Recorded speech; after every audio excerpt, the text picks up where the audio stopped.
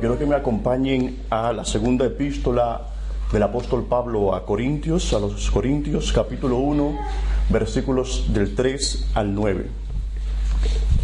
Segunda epístola del apóstol Pablo a los Corintios, capítulo 1, versículos del 3 al 9.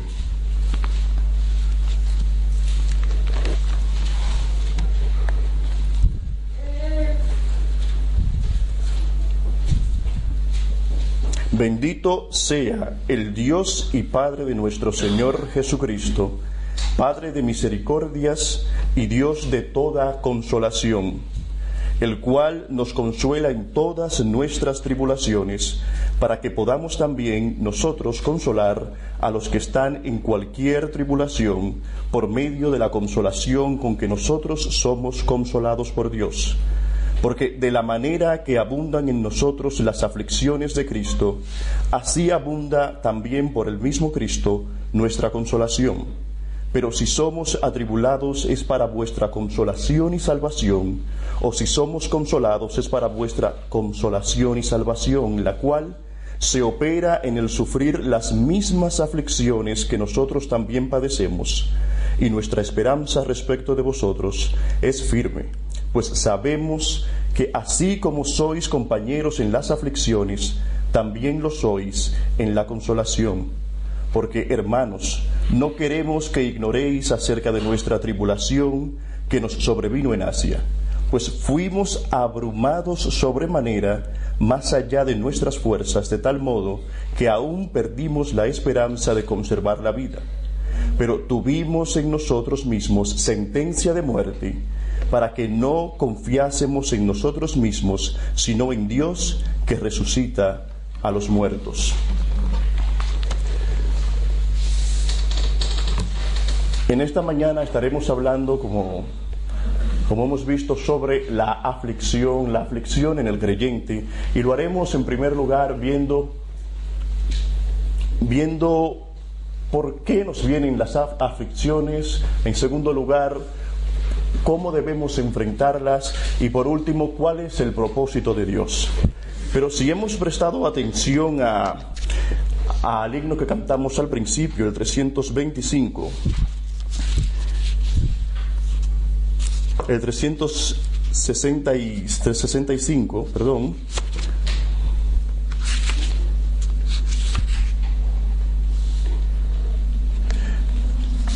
nos, nos, recordaremos que allí se nos hablaba de que Él era nuestro, de que Dios debe ser nuestro escondedero en el turbión, nuestro, nuestro escondedero, nuestra sombra cuando nos da el sol y nuestro, nuestro refugio. Yo quiero que hablemos en esta mañana acerca de eso, de cómo Dios nos consuela para que nosotros también podamos consolar a los demás y cómo en medio de las aflicciones es en Dios quien tenemos que refugiarnos. Así que es evidente que en todas partes hay gente sufriendo. Y una de las experiencias más comunes por las que atraviesa todo hijo de Dios es la aflicción. Las adversidades nos pueden venir desde cualquier parte, en la casa, con la esposa o con el esposo o con los hijos en el trabajo con los jefes o con los compañeros, o con el vecino o con los, o con los vecinos, o con nuestra economía o nuestras finanzas, con accidentes, con enfermedades, con desastres, con el tránsito, con todo lo que nos podemos pensar, nos pueden venir aflicciones y a algunos estas cosas no les llegan una por una, sino que les llegan todas en un mismo paquete y de repente, como ha sucedido recientemente en el terremoto en Nepal. Así que la aflicción es sin duda inevitable y aunque algunos parecen, parecen padecer menos que otros, lo cierto es que todos las padecemos. En general, las aflicciones las situaciones aflictivas son todas aquellas circunstancias que desde muy cerca nos sacuden, nos golpean y nos abaten de tal manera que producen en nosotros una reacción emocional, dígase dolor, tristeza, dolor o angustia, y es a eso, o es eso lo que conocemos como aflicción. Todas las reacciones que nos producen angustia en en, base a situaciones muy estresantes. Ahora bien, en la Biblia la aflicción a veces se traduce como adversidad, en otras ocasiones como angustia, calamidad, dolor. y en otras ocasiones como quebrantamiento, padecimiento, tribulación, prueba o persecución. La pregunta es, ¿cómo debemos nosotros recibir las aflicciones? ¿A cuántos se les ha ocurrido que las aflicciones debemos recibirlas con los brazos abiertos? Y ante esto algunos rápidamente responderá o dirá que cómo es posible que podamos querer recibir las aflicciones o las adversidades con los brazos abiertos. Lo normal es que surjan preguntas como ¿por qué Dios permite que pasemos por situaciones difíciles? ¿O por qué me pasa esto a mí o a Juanito o Juanita que no se lo merecen? Cuando la pregunta debería ser si acaso alguno de nosotros ha recibido de Dios algo que no se merecía. Y la respuesta sería que sí, que hemos recibido de Dios mucho más de lo que merecíamos, su amor, su bondad, su gracia y su misericordia. Por tanto, no es que hemos recibido lo que no merecíamos, es que ciertamente hemos recibido de Dios más de lo que merecíamos e igualmente sí cosas que no merecíamos como su amor y su misericordia. Ahora, muchos piensan que debido a que están tratando de servir y seguir al Señor, Él debe evitarles o protegerles de las adversidades. Pero nada más lejos de la realidad, vayamos a Juan capítulo 16, versículo 33. Juan capítulo 16, versículo 33.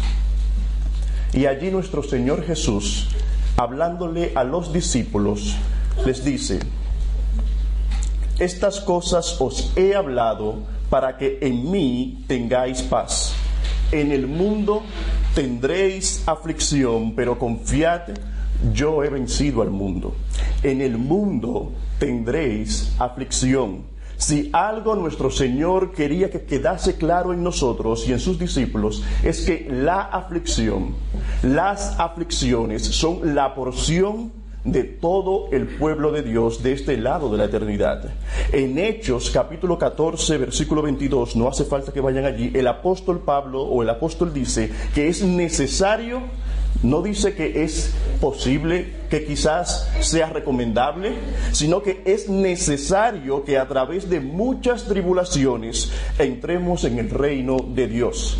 Y en la misma epístola de 2 de Corintios capítulo 2, Pablo dice o declara que con mucha tribulación y angustia del corazón os escribí con muchas lágrimas. Así que algunos, algunos piensan que es incompatible servir a Dios y estar angustiado. Que es incompatible ser cristiano y estar triste o estar abrumados. Pero si algo nos dejan ver estos, estos versículos, es justo lo contrario. Pero lo segundo que nos muestran estos versículos que acabamos de leer es que los apóstoles estuvieron muy preocupados para que los hermanos en la fe de aquellos años, aquellos primeros años de la iglesia, pudieran entender que las aflicciones y las tribulaciones serían la parte o porción de su experiencia normal como cristianos.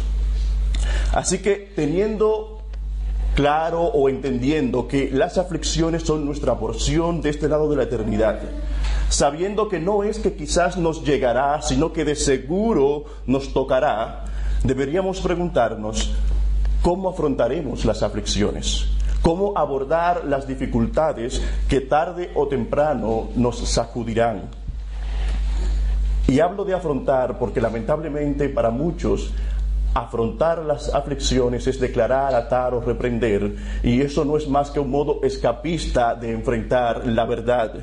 Así que nuestro primer punto es afrontando las aflicciones, y es evidente que no estamos hechos de piedra, que no estamos hechos de acero, y que por nuestra sangre no corren cubitos de hielo, aunque en algunos parece que sí. Lo que nos caracteriza es que somos de carne de hueso y de nervios, que somos sensibles a todo lo que nos rodea y por eso reaccionamos. Por tanto, cuando nuestro Señor dice que en el mundo tendremos aflicciones, no, Él no quiere decir que nos llegarán situaciones aflictivas solamente, sino que ciertamente las padeceremos, las sentiremos, sentiremos el dolor, la tristeza y la angustia y el desaliento, porque no hay aflicción si no hay afligidos. Sin embargo, uno de los problemas como en todo en la vida, uno de los problemas que más sale a relucir al afrontar las aflicciones es el mirarla con los ojos de la carne y no con los ojos de la fe. ¿Cómo reaccionas cuando estás en medio de las aflicciones? ¿Ves todo lo que te ocurre? Desde la perspectiva de Dios, desde una perspectiva bíblica, o, o lo ves todo como un despropósito y un sinsentido. Si tú no ves a Dios disciplinándote por alguna razón, si no eres llevado cuando estás en medio de las aflicciones y adversidades a darle gracias a Dios por todo, es porque estás mirando las cosas con los ojos de la carne. ¿Y sabes cuál es el problema? Cuando no miras las aflicciones y las adversidades con los ojos de la fe? ¿Sabes cuál es el problema cuando miras las aflicciones con los ojos de la carne?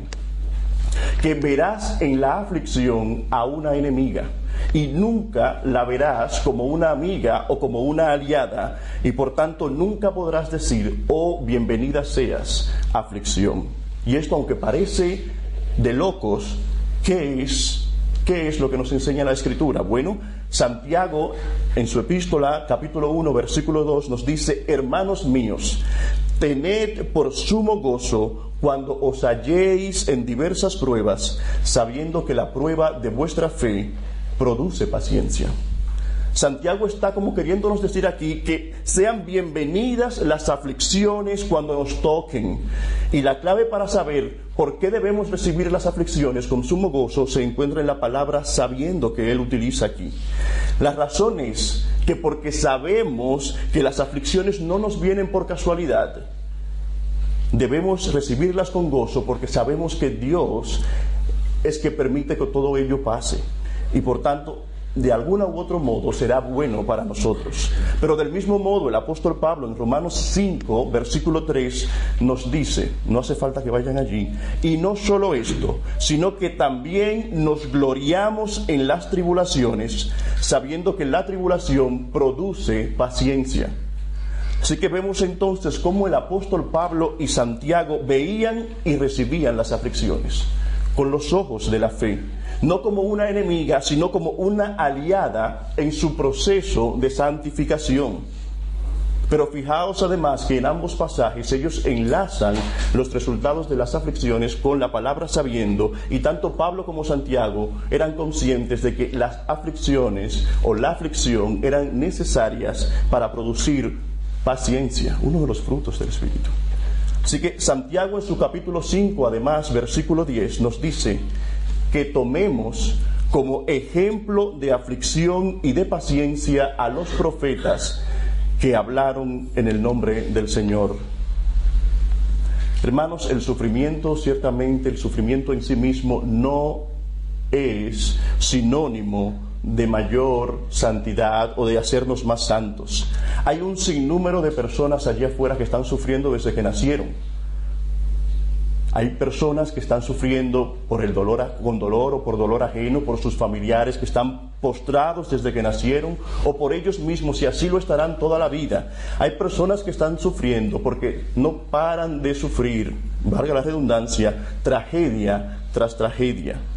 Pero lo lamentable es que a pesar de esto, si mueren sin Cristo, se perderán, porque los sufrimientos y las aflicciones en las que la Biblia hace especial hincapié es en las pruebas, en las adversidades y dificultades que nos vienen por servir a Cristo.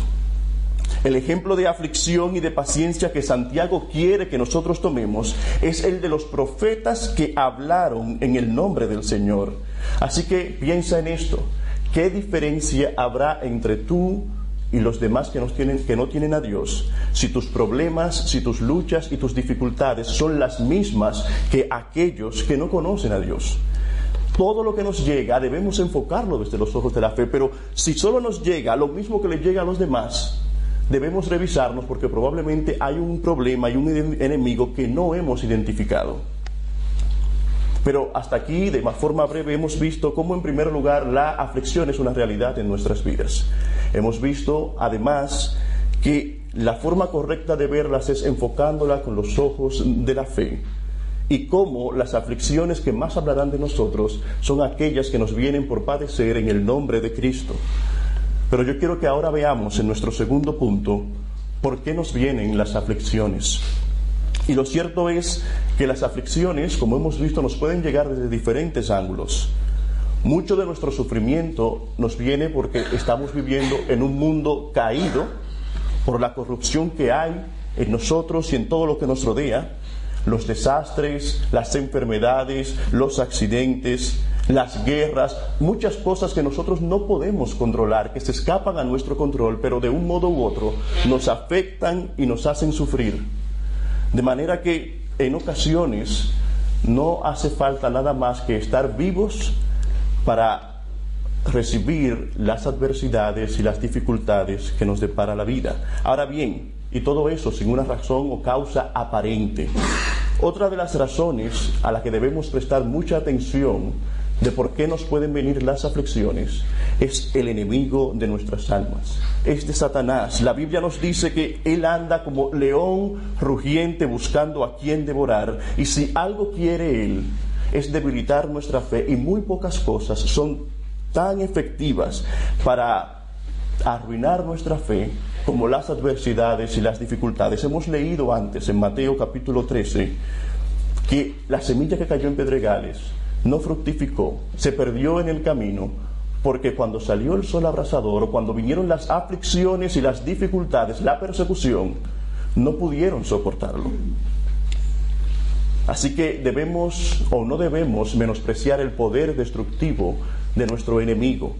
Y la única manera de salir debajo de esa patana llamada aflicción y de poder salir victoriosos de la aflicción que nos trae el enemigo es estando en comunión con Dios y a través de nuestro Señor Jesucristo. Fue sólo así que Job pudo vencer las adversidades. Pero hay otra de las causas, hay otra causa de nuestros padecimientos y la podemos encontrar a veces en los demás. Acciones, decisiones que toman y de, forma indirecta o directa nos afectan. Ahora, ¿es esta una causa en realidad? Es decir, la mayoría de las veces, lo cierto es que nosotros somos buenos en encontrar la causa en los demás, pero somos nosotros los culpables de todo lo que nos llega. Son nuestras propias decisiones y acciones las que nos colocan en el mismo medio de las crisis. Gálatas capítulo 6 nos habla de eso, que no nos engañemos, porque todo lo que el hombre sembrare, eso también segará. Así que, de hecho, si solo piensas que las aflicciones tienen su causa o su origen en el mundo y en los demás, y no eres capaz de ver la causa en ti, ten por seguro que no estás identificando adecuadamente al enemigo, que no estás haciendo un buen ejercicio y que estás reprobando esta prueba. Es Dios quien permite que las aflicciones nos toquen con el objetivo de hacernos más sensibles a su voz. Y en su amor y en su misericordia nos afligirá no solamente una, sino todas las veces necesarias para hacer de nosotros un hombre o una mujer madura y completa. Ahora, muchos creyentes llegan a la conclusión de que Dios no tiene nada que ver con lo malo, entre comillas, que les ocurra o con las adversidades, ignorando las palabras de nuestro mismo Señor y Dios en Isaías 45, versículo 7. En Isaías 45, versículo 7, el Señor declara que Él formó la luz y creó las tinieblas, que hago la paz y creo la adversidad. Yo Jehová soy el que hago todo esto. Así que si entendemos entonces que Dios en cierto modo es quien permite y crea la adversidad, lo siguiente que debemos preguntarnos, y este será nuestro último punto, es cuál es el propósito de Dios en las aflicciones. Pero antes de pasar a este último punto, quiero que veamos otra de las razones por las que nos llegan las aflicciones. En Lucas capítulo 24 desde los versículos 3 en adelante se nos relata una historia que todos conocemos probablemente y que no la leeré porque escapa un poco el propósito por lo extenso, pero ¿qué se nos relata allí? Una pareja que iba camino a la aldea llamada Emaús y cuando iban por el camino el Señor se les aparece y les hace dos preguntas. Una de ellas cuál era, ¿por qué estáis tristes o por qué estáis afligidos? Y como suele ser habitual cuando las personas están afligidas o en ese estado de ánimo, suelen responder con autodefendiéndose, con una pregunta, tal y como lo hicieron ellos. ¿Acaso eres tú el único que no se ha enterado, que no sabe lo que ha ocurrido? Pero nuestro Señor Jesús sabía exactamente cuál era su problema y por eso insistió y continuó con su pregunta. Todo parecía indicar que la causa de su tristeza o de estar afligidos radicaba en la reciente muerte de su Señor y Salvador, del Señor Jesucristo. Pero él les demostró que la razón de su aflicción no tenía, en cierto modo, nada que ver con su muerte, tal y como ellos lo veían con los ojos de la carne, sino que la razón de su aflicción y de estar tristes radicaba en su incredulidad o en su ignorancia de la palabra de Dios. Por eso le dice, oh tardos de corazón para creer todo lo que los profetas han dicho. Han dicho. Ellos no creían o ignoraban las escrituras y hermano, si tú no conoces tu Biblia, puede que con más frecuencia de lo debido te encuentres confundido y dolido porque no sabrás cómo encontrarle un sentido bíblico a lo que te está ocurriendo. Como bien dice un autor, existen muchos que no conocen su Biblia lo suficiente como para encontrarle sentido a su cruz. Por tanto, el estudiar nuestras Biblias con más frecuencia nos librará de aflicciones que muy bien podrían haber sido evitadas. Con tan solo cómo, con tan solo conocer y creer más lo que nos ha sido revelado. Y esto nos lleva a concluir, por tanto, que la ignorancia de las escrituras es otra de las razones fundamentales por las que nos llegan las aflicciones. Pero otra de las cosas que podemos aprender en este pasaje, en esta historia que se nos relata en Lucas 23, es que cuando estás pasando, cuando estás justo en medio de las aflicciones, debes de cuidarte de no rechazar el consejo y la exhortación de tu pastor o de los hermanos que con buena intención y de buen testimonio quieren ayudarte. Porque si estos hombres, si esta pareja hubiese seguido en su tono inicial, respondiendo con tosquedad a la pregunta e insistencia del Señor, si ellos se hubiesen negado a abrir su corazón y contarles su, problema, ellos no hubiesen recibido la ayuda y la sanidad de corazón que recibieron. Pero debemos prestar atención que lo que sanó su corazón y los libró de estar tristes y afligidos no fue otra cosa que la palabra de Dios. Cuando Jesús les abrió las escrituras, entonces su aflicción y tristeza desapareció. Así que es cuando entendemos el propósito de Dios, el propósito divino por medio de nuestras aflicciones, cuando los sufrimientos tomarán sentido. Es así como fue sostenido el salmista. Vayamos al Salmo 119. Salmo 119, versículos 49 y 50, para leer allí algo que reforzará nuestro entendimiento de cómo la palabra es tan vital de forma, para, de forma preventiva evitar que caigamos en aflicción o cuando ya estamos en ella, ser luz y vivificar nuestra vida. En el Salmo 119, versículos 49 y 50, el salmista dice, acuérdate de la palabra dada a tu siervo, en la cual me has hecho esperar. Ella es el que, la palabra, mi consuelo en mi aflicción, porque tu dicho me ha vivificado. Ella es mi consuelo en mi aflicción, porque tu dicho me ha vivificado. Pero en el mismo Salmo 119, versículos antes, el versículo 92, el, el salmista ya había reconfirmado o había hablado al respecto. ¿Qué dice el salmista? Si tu ley no hubiese sido mi delicia, ya en mi aflicción hubiera perecido. Si tu ley no hubiese sido mi delicia, ya en tu aflicción hubiera perecido. Así que vemos cómo la palabra juega un papel importantísimo a la hora de ayudarnos a afrontar las aflicciones y de evitar también que caigamos en ellas por ignorancia, por nuestra propia culpa. Pero nuestro último punto al que quiero pasar es el propósito de Dios en la aflicción.